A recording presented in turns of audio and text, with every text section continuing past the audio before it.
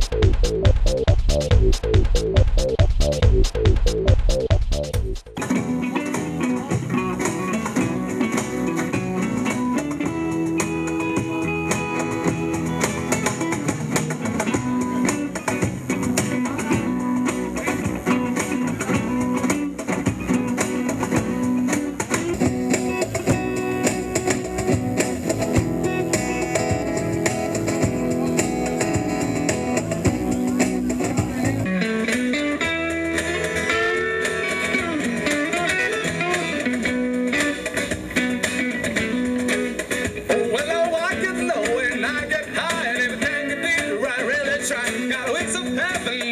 Shoes. I'm a dancing man and I just can't lose. That's alright, it's okay. I live to see another day. We can try to understand.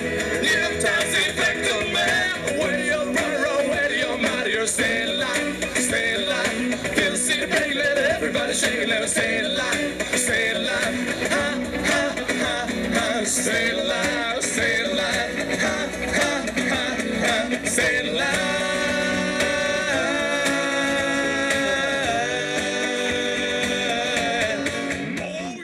Добро вечер, за почеток представете се. За почеток јас сум Кристијан, свирам во Фалш бенд, кој го основавме пред две години. Значи неодамно учествував на македонскиот идол, може би по тоа ме познаваат луѓето повеќе. Тоа е тоа. Во крв и месо тука, во живо. Што ве натера да се пријавите на овој фестивал? Па на овој фестивал ме натера да се пријавам тоа што на вистина почитувам кога некој се обидува да створи некој квалитетен настан, што во нашата држава ги има многу малце за жал. И ние практикуваме музика одсвирена во живо. Значи ние сме бенд и се залагаме за музиката одсвирена во живо. Тоа е тоа во глобала. Кога ќе се спомне името Трајко Каров, на што прво ве асоцира? на легендарниот тапанар кој што починал, не знам точно како, но знам дека бил многу добар и во негова чест се организира целиот овој настан. Значи, И за крај, како сте задоволни од кавадаречката публика и вашиот настап?